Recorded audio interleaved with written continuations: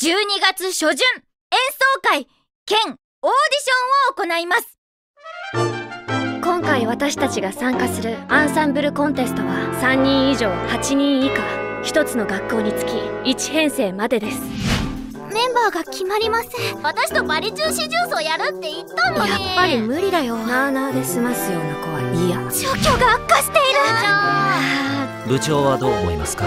まだ